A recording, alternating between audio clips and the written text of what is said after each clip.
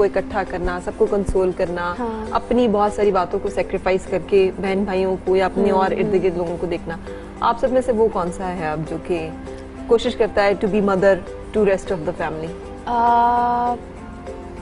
कुछ हद तक मैं खुद खुद को समझती हूँ ये वाले उसमें और आयशा मेरी बड़ी बहन। और नूर तो बहुत ही छोटी है तो उसको तो हम बिल्कुल ही वो तो मामा के बगैर सोती भी नहीं थी। तो उसको तो हम बिल्कुल ही उस तरह रखते हैं। तो मैं मुझे लगता है कि मैं हर तरीके से कोशिश करती हूँ कि जो जो क्योंकि मामा अपनी डेथ से पहले भी मुझे मुझे ख़ास तौर पे वही बात क्योंकि मैं बहुत मिच्योर हूँ बचपन से हमेशा से मैं इस, इस तरह की हूँ। और मैं मुझे घर घर मैं बहुत घरेलू भी हूँ। तो वो हमेशा से मुझे यही बात सिखाती थी कि जो जो मतलब जो जो मामा करती थी चाहती थी कि मैं भी उसी तरह हर चीज़ को लेके चलूँ। वो मुझे मुझे ख़ास तौर पे बोलती थी कि तुम ख्याल रखना।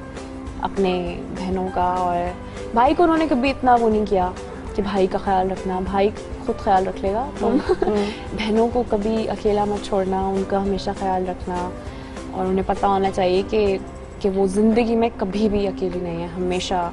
सारा ये बहुत जैसे कहते हैं ना मुश्किल फ़ेज़ है कि अपने किसी बहुत प्यारे को और ऐसे रिश्ते को जिसे आप सोच भी नहीं सकते ऐसे अपने सामने जाते देखना स्लोली स्लोली एंड ग्रेजुअली इस टर्म्स पे आना जो आपने कहा है कि एक टाइम आए कि आप खुद दुआ करें कि अल्लाह अब इनकी तकलीफ़ आसान कर दे। उस सारे उसमें आपके उसमें से गुजरी होगी that would have been horrible ना? क्योंकि वो तो एक एक अनबेरेबल इस सारे अरसे में आप स्क्रीन पे इतना स्माइल करती रही इतनी इतनी अच्छे अच्छे से अपेयर होती रही कहीं पता नहीं चला कहीं रिफ्लेक्ट नहीं किया कि अंदर कोई इतनी तकलीफ़ या इतना कोई मसला जो है वो चल रहा है। आ, एक तो वैसा रहने की मेरी वजह ये भी है क्योंकि मैं कभी भी नहीं चाहती थी कि मामा को कभी भी ऐसा लगे कि वो बीमार है तो उनकी वजह से मैं मैंने या मेरे घर वालों ने हम काम छोड़ के घर बैठ गए हैं या उनकी वजह से हम हम यू नो अपनी ज़िंदगी में बहुत परेशानियाँ हैं ये है। तो हम हमेशा खुश रहते थे हमेशा।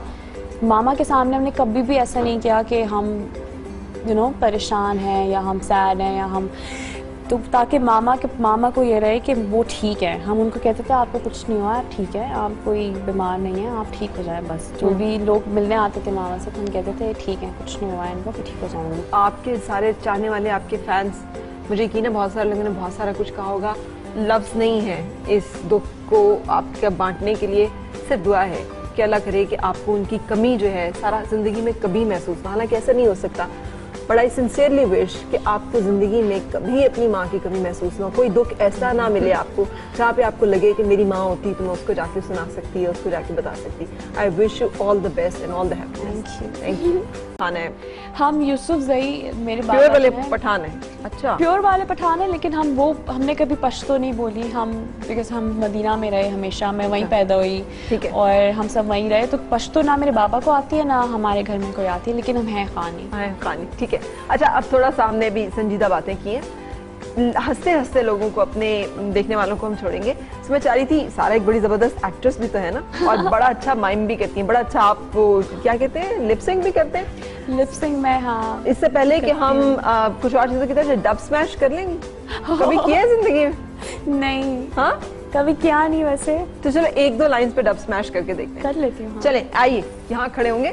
तो पहली लाइन कौन सी है? थप्पड़ से डर नहीं लगता साहब। प्यार से लगता है। थप्पड़ से डर नहीं लगता साहब। प्यार से लगता है। ये हाथ हमको दे ठाकुर ये हाथ हमको दे ठाकुर अच्छा ब्यूटीफुल अब मैं ऐसा करती हूँ कि हमारे बहुत टैलेंटेड से आर्टिस्ट हैं। चाँद बराल। चाँद प्लीज़ तशरीफ़ लाइए। और इसे किस्मत कहते हैं कि आज आप सारा के सामने एक्ट करेंगे। ओ। क्या बात है। पहली जो पर्ची है उसमें सिचुएशन निकलेगी अच्छा। सारा आप निकालोगी। सिचुएशन का एक कैरेक्टर ये होंगे और दूसरा कैरेक्टर आप प्ले करेंगे क्या है? मेरे दिमाग में बाहर क्या आ रहा ना काम चोरी करना। काम चोरी करना। अब ये एक ऐसी मुलाजमा है आप जो काम चोरी है। करती हैं और आप वो बाजी हैं जो उसकी काम चोरी कर हाँ। बाजी आ तो ले। आप वो बाजी हैं जो मुलाजमा की काम चोरी जो है वो पकड़ लेती है। हाँ वो फफे कुटन सी माई। ठीक है? अच्छा, अब मैं क्या कर रही हूँ? काम चोरी में काम चोरी करती हूँ। डस्टर दे दो कोई मैं डस्टिंग कर रही हूँ। हाँ डस्टिंग कर रही हूँ? ठीक है चलो डस्टिंग कर रही है। हम्म। आए। चलें। क्यों री हाँ? कल भी तू ये सोफा ऐसे ही छोड़ के चली गई थी? तेरे साथ प्रॉब्लम क्या है हाँ? सारा दिन फ़ोन पे hello hello hello hello hello. शर्म आनी चाहिए तुम्हें। फ़ोन लिया है तो बात तो करूँगी ना किसी से। बात तो करूँगी ना किसी से? तो काम कौन करेगा? मैं? परसों साफ़ किया था ना सोफा? परसों साफ़ किया तो सोफा रोज गंदा होता है हमारे घर बहुत आप कितनी गंदी है बाजी जो सोफा रोज गंदा हो जाता है? ये कैसी काम वाली है? ये तो मालकन में पै गई बाजी बस कर दे आपका सोफा साफ़ है। बस कर दे मेरे गेट के बाहर लड़कों की लाइनें खड़ी रहती हैं और वो भी तेरी वजह से रखेंगे तो लड़कों की लाइन तो लगेगी ना। तो उनमें से एक आधे को समझाओ ना कि मालकिन भी जमान है। नेक्स्ट सिचुएशन क्या है? नेक्स्ट में क्या निकला है? हाँ नेक्स्ट क्या है? बहाने बनाने वाला बच्चा। बनाने वाला बच्चा। सारा बहाने बनाने वाली बच्चा है और ये एक बहुत जिसे कहते हैं ना ढीठ अम्मा है। फिर अम्मा? जो बच्चे की कोई बात नहीं मानती नहीं नहीं बाप नहीं बनना अम्मा बनना है। जी। मुझे क्या पता था कि ये लड़की मैं पैदा करूँगी?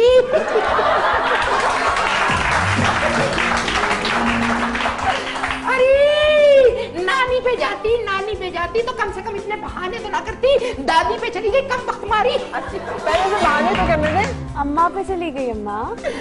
अम्मा पे जाती तो टांगे पे जाती। टांगे पे?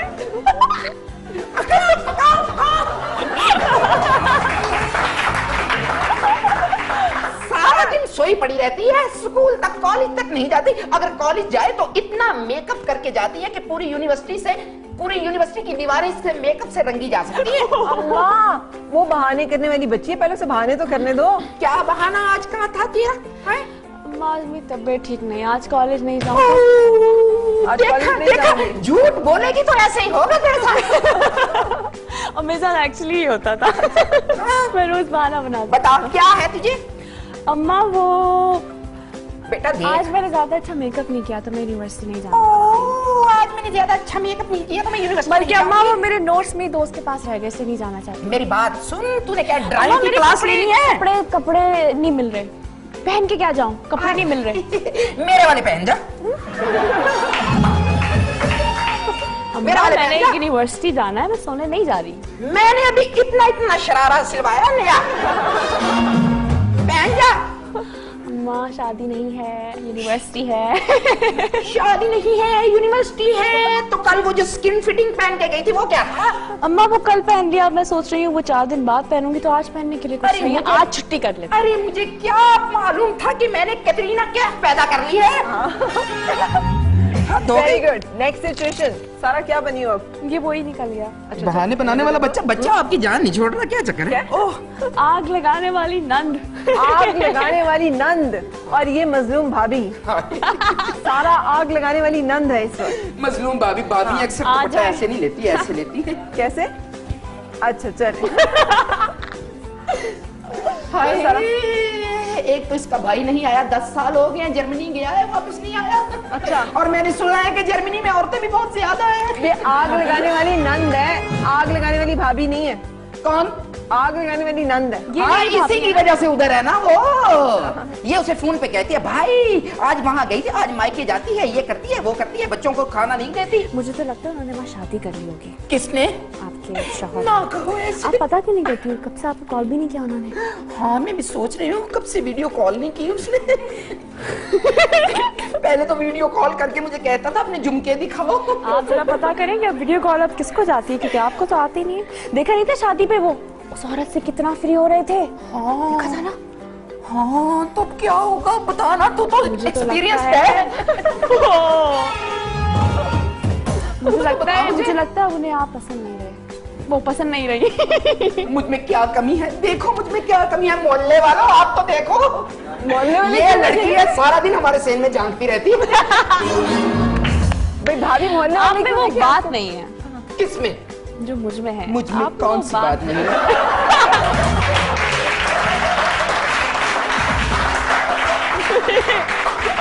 भाभी आप जीत गई। अगर मैं अपनी आयु पे आ जाऊँ ना तो जर्मनी क्या अमेरिका से भी एक दिन में वापस आ जाएगा? मैं तो शराफत में रहती हूँ मैं कहती हूँ चलो छोड़ो क्या आप यूनिवर्सिटी गई? सारे काम गए छोड़ो। शक करने वाली बीवी। शक कर आप शौहर हैं फाइनली ओ। शक करने वाली बीवी है वो। क्या चाहती हो? कहाँ से आ रहे हैं? कहाँ से आ रहा हूँ? क्या मतलब कहाँ से आ रहा हूँ? ऑफ़िस गया था और तो मैंने कॉल की थी आप ऑफ़िस में नहीं थे। हाँ तो मैं ऑफ़िस में नहीं था तो वॉशरूम होगा। आपके पास से मुझे खुशबू किस चीज़ की आ रही है? खुशबू? एक्चुअली मैंने ना परफ्यूम नया लगाया है। ऑफ़िस से कितने बजे निकले थे? छह बजे।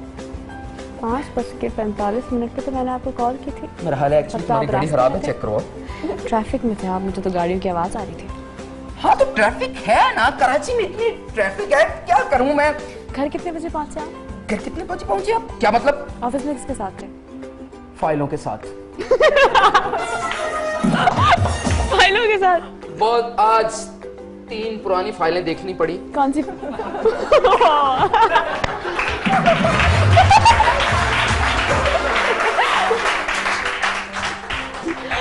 बहुत दिनों से पेंडिंग पे थी।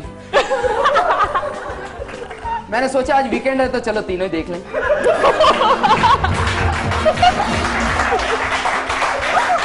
इसीलिए मैं आप पे शक करती हूँ।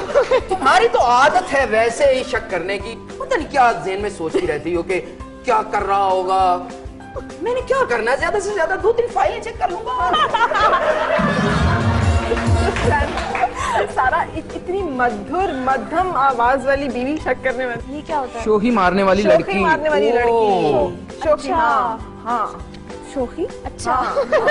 अच्छा शोखी मारने वाली। ये दुपट्टा मैंने जो है ना पता है ये मैंने वहाँ से लिया है। ये इयरिंग्स है मैंने वहाँ से लिए हैं वो वाली लड़की। अच्छा। हम्म। जी। अच्छा। कैसी हो? ये नहीं लड़का नहीं है ये। दो सहेलियाँ हैं। दो सहेली। हाँ। दो सहेलियाँ मेरा कार अच्छा सहेली तो ऐसे लेती है बल्कि लेती नहीं दुपट्टा।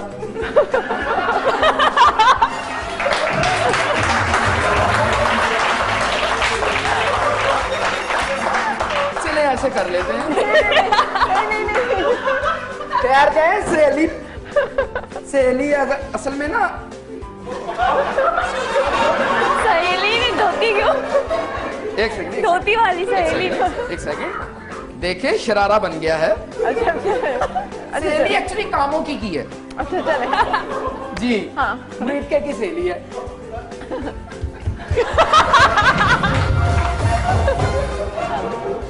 जी सारा। हाँ तो क्या कह रही है? कै, कैसा है मेरा नया ड्रेस देखो मामा की साड़ी फाड़ी है मैंने। बस ठीक बस ठीक है लेकिन तुमने मेरे जूते नहीं देखे। महँगे वाले। अच्छा कौन से हैं? हैं? बहुत महँगे वाले जूते महँगे वाले हैं? ब्रांडेड अच्छे लग तुमने ये देखे? तुम्हारे अच्छे नहीं है मेरे मेरे अपने हैं। महँगे वाले नहीं है। हाँ। मतलब? जूते महँगे वाले। कितने का सूट लिया तुमने? दस हज़ार का। ओह दस हज़ार का सूट और तीस रुपए का शवारमा हाँ।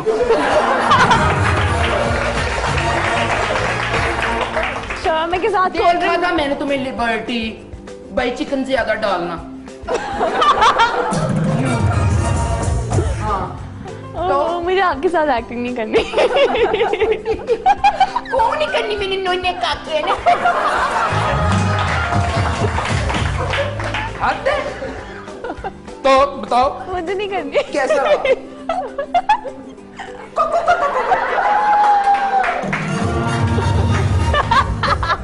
तुम पता बस। तुम्हारे लिए लाई हूँ। मुझे दे हाँ। दो। ये जब मेरा रिश्ता देखने आए थे ना तो वो लेके आए थे ये। कब? एक महीना पहले। इसमें क्या लगा के लाए थे जो अभी तक फ्रेश है लीमू खाना चाहिए। डेली एक लीमू जो अगर आप लेते हैं ना तो आपके फैट्स नहीं होते। You know fats yes thank you बहुत मेहरबानी। बहुत चाँद बराल बहुत शुक्रिया। So thank you. much. बहुत मेहरबानी बहुत शुक्रिया। ओके ओके ओके ये लीमू ले जाओ। Thank you thank you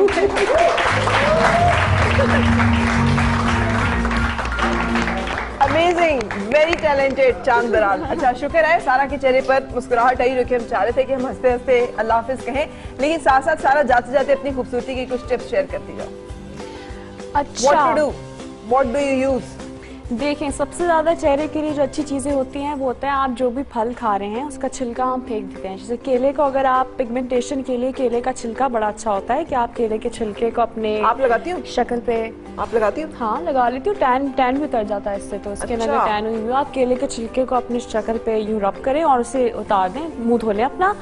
और पीच बड़ा अच्छा होता है शक्ल के लिए आप अपने चेहरे पे लगा के छोड़ दें आड़ू थोड़ी देर लगा के छोड़ दें। आड़ू लगा के छोड़ दें। और मैं मैं सबसे ज़्यादा अपने अपने चेहरे पे मलाई लगाती हूँ। दूध की मलाई? दूध की मलाई जो लेकिन वो मलाई फिर दूध भी असली वाला दूध होना हाँ। चाहिए। उसकी मलाई लेके आप अपने अपने लगा दें। एक तो वो आपके टोन को भी थोड़ा जी जैसे हमारे यहाँ जैसे सबको गोरा होने का बड़ा शौक होता है तो वो आपका जो भी स्किन जो आपका असल रंग होगा वो उसको बाहर निकाल देगा। वो आपको गोरा नहीं करेगा लेकिन हम फ्रेश हो जाएँगे। फ्रेश हो जाएँगे। उससे स्किन बड़ी अच्छी हो जाती है और बहुत ग्लो आता है आपकी स्किन पे। बिल्कुल सही। Thank you very much Sara wonderful to have you Thank and you. It's amazingly wonderful to know you you are a constant surprise और आपने हमारे साथ शो के हर सेगमेंट में बड़ी अच्छी तरह से पार्टिसिपेट किया। Thank you very much for that लेकिन सारा जितना खूबसूरत दिखने के लिए मेरा ख्याल है सारा जितना खूबसूरत दिल होना भी बहुत ज़रूरी है। क्योंकि अगेन चेहरा जो है वो आपके दिल का आईना है। अगर आपका दिल साफ़ नहीं है खूबसूरत नहीं है आपका चेहरा कभी भी खूबसूरत नहीं दिख सकता। उसका एक्सप्रेशन अच्छा नहीं होगा। So wish all the best A plus की अजरा। और हमारी Sara Khan wish all the best in Mere Bewafa.